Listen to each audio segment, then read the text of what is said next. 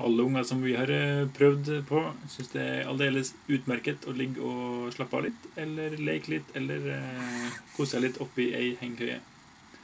Bare hør hva Jorunn eh, sier sjøl.